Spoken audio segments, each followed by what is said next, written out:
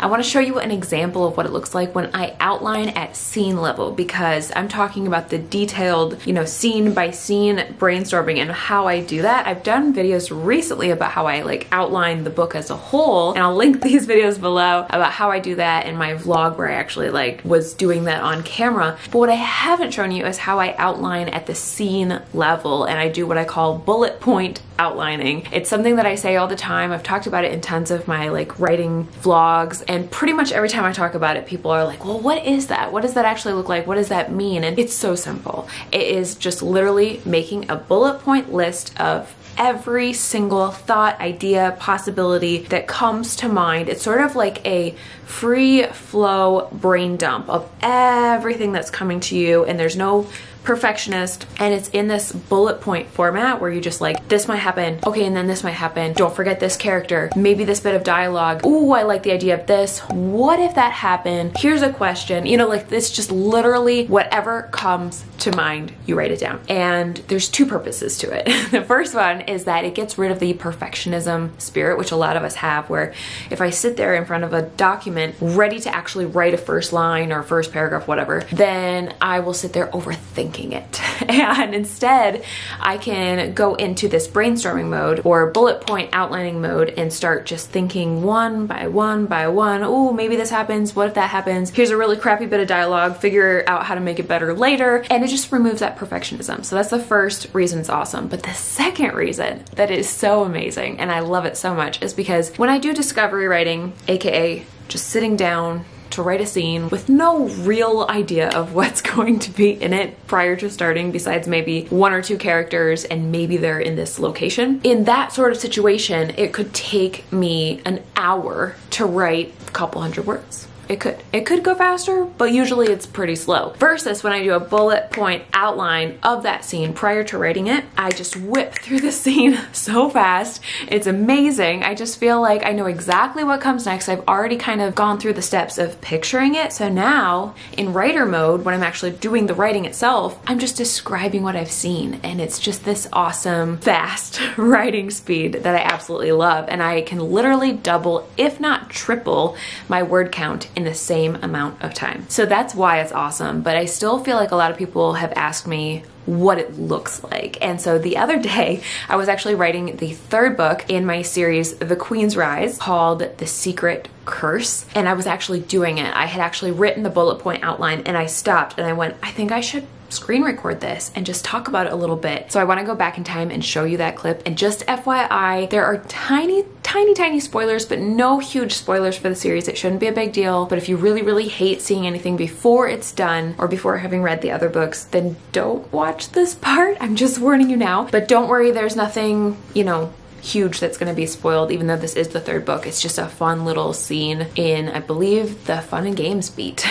of the story okay let's go back in time and watch that clip now so what I'm doing here is I got a little bit stuck and I decided to brainstorm in more specific detail the next scene that was coming up. So you can see here I wrote maybe she shifts now into something dangerous and attacks them, surprising them. And later on I actually came back and I added maybe one of them even hurts her a little bit. Like I actually um, had continued on writing all of this and then I came back and added this bullet point later. It's like maybe one of them even hurts her. So then later on this guy that she's gonna run into is gonna have to help her with her wound and they might have a cute moment. And then I put, well, maybe, let's see, is she successful? So it's basically following the chain of events. I'm like, okay, if she attacks these people who are holding her captive, is she successful or is she not? Well, maybe she is successful. But then this guy, again, this is a little bit of a love triangle situation. I'm really enjoying that. Maybe he comes through the door and, you know, we want to see that he is good. So maybe he nearly captures her, but she's also good. So she escapes by shifting. I put hard, like as in really fast, going through the, like a crack as a bug. So sneaky. I like to show that she's sneaky. The Hanavidae are actually really fast as well. So maybe to get away from them, she has to shift into a bird and fly away. And of course, all this shifting is pushing her hard and exhausting her. So I'm writing all these notes to myself to make sure I don't forget as well. But then I also was like, well, okay, she can't fly far though, because, you know, she's doesn't have the muscles to sustain a long flight. So that would mean she's forced to land not too far away. So I'm just kind of like following things through the, to the conclusion. And then I added this in later, just like I did with this about the wound. Well, if she's wounded, then maybe the other reason she lands is because she's also injured. And then you can see how I have other notes that I throw in there. They're not necessarily in order, but I'm like, okay, I don't want to forget. Maybe show those mountains that she wondered about at some point. You'll see when you read the story. And then I also was like, well, okay, she's trying to find a Daleth, which is a portal between the human world and the Jinni world. And that's how she's got to get home. So we need to have her at some point remember, like, oh, yeah, maybe there's a Daleth in the area, or like, I haven't actually figured this out. So I'm like, or maybe she thinks so, but she can't remember for sure. So at some point, I need to make sure she thinks about trying to find it. I don't want to forget. And then coming back to like the chain of events. Well, what would be the natural next thing is this guy would come looking for her. And so I decided, well, maybe um, she sees him coming, so she shifts again, and of course, it's wearing her out. And I just continue on brainstorming like this. Well, okay, so she realizes she can outwit him by changing forms, doing things he can't do, but maybe he can somehow like track her by magic. You can see I, I don't actually know. Does that work? You know, I got to think on it more. And right now, I'm thinking out loud. I'm like, I should probably put in a note. How come the others aren't with Bijan? How come they're not able to track her as well? Does he tell them to wait and go off alone, maybe? Or does he tell them to search in a different direction? So it's something I need to brainstorm and make sure I don't forget. So I'm just literally writing notes to myself, okay, what comes next? So you can see how I just go on and on like this. This was one of my really long brainstorming bits where I was like, I kept getting ideas. I kept being like, oh, I really like this. You know, maybe this will happen. Maybe he'll call her out. Maybe they do attempt to fight. I really like this idea, so I kind of brainstormed that more. Like maybe mid fight, she's so exhausted that she has to snap back to her Jinni form because otherwise she's not going to be able to anymore. She doesn't want to be stuck. And then they have kind of like a cute little he's on top of her. So you can see I brainstormed like a phrase that he might say. And then sometimes I don't really know the details, but I brainstorm like how would he kind of like hunt that would look very dragon like because the Hanabidae are based on dragons. Here's another example of I don't want him to actually say taxing you because that's kind of a modern word. I, I want to think of a different way to say this, but basically he'll be like, I knew you were exhausted, or I knew you couldn't keep shifting and keep it up etc. And then some other possible things that he and she might say, and they keep talking. And that's where I stopped, as you can see here, because I got excited to write this. And I was like, okay, let's go back all the way to the top. And then what I'll do is I'll start right here. And as I write this section, once I've written it, where she does shift, she does something dangerous, attacks them, this is probably going to end up being like four or five paragraphs. And once I finish writing it, I'll delete it. And then once I write this section, I'll delete it. And then once I write this section and so on, I'll delete it as I go. And if I skip around, like maybe I don't do this right away, then I'll go on to this section and delete it while I leave the note here that hasn't been completed yet. So that's just a little sneak peek at how I do bullet point outlines. I hope you enjoyed it. It's super fun for me to outline a scene in detail like this and it really really helps me write a lot faster because otherwise I'm writing something like this and it just takes me forever and while I love discovery writing stuff like this sometimes I just want to write really fast and if I have a bullet point outline like this I can just whip through it and it makes my writing so much faster and I can write twice as fast if I have something like this to go off of. So I hope this was fun for you to see and let me know what you think of it.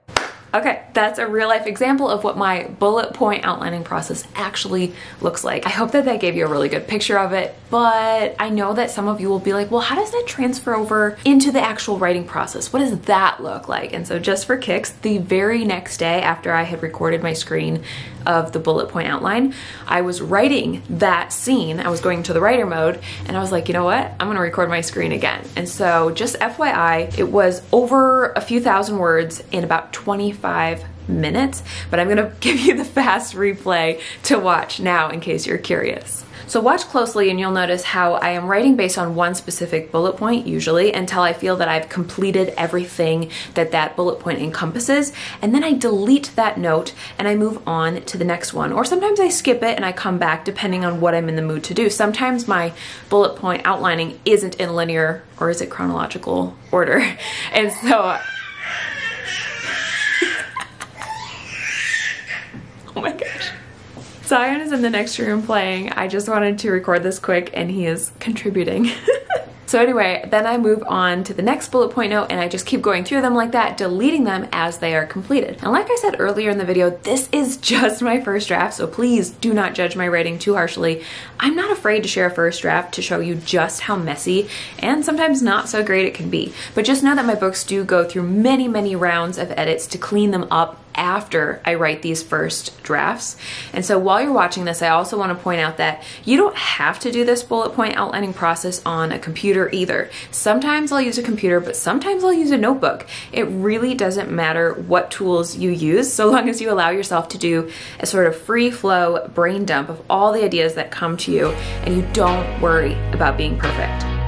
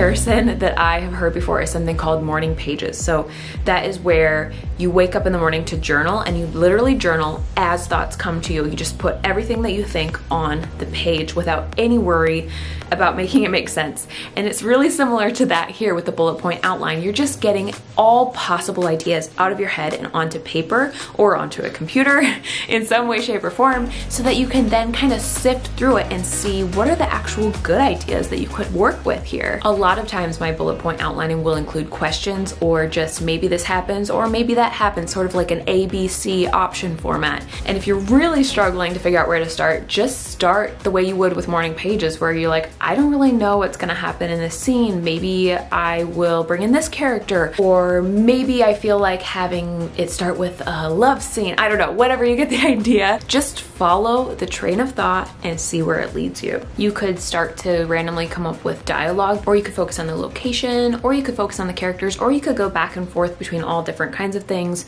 It's just asking questions, coming up with answers, and yeah, literally just brainstorming.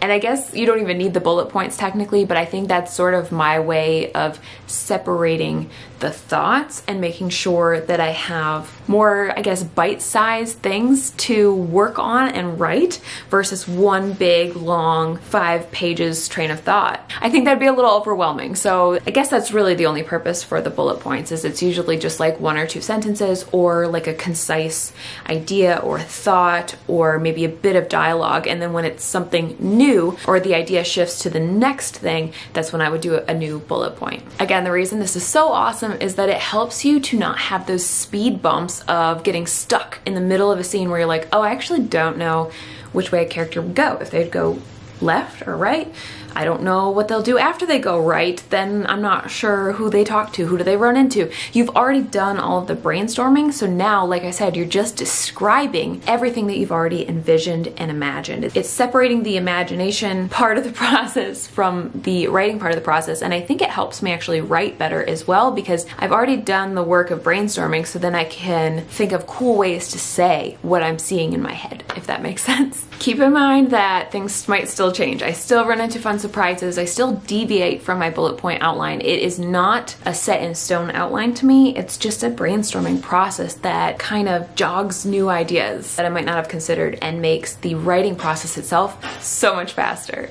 All right, I gotta go take care of this cute kid. So I will talk to you guys in the next video, but I hope this was helpful. Let me know in the comments if you've ever tried something like this or if this is brand new and you're excited to try it. And I hope you guys have an awesome day and I'll talk to you again very soon.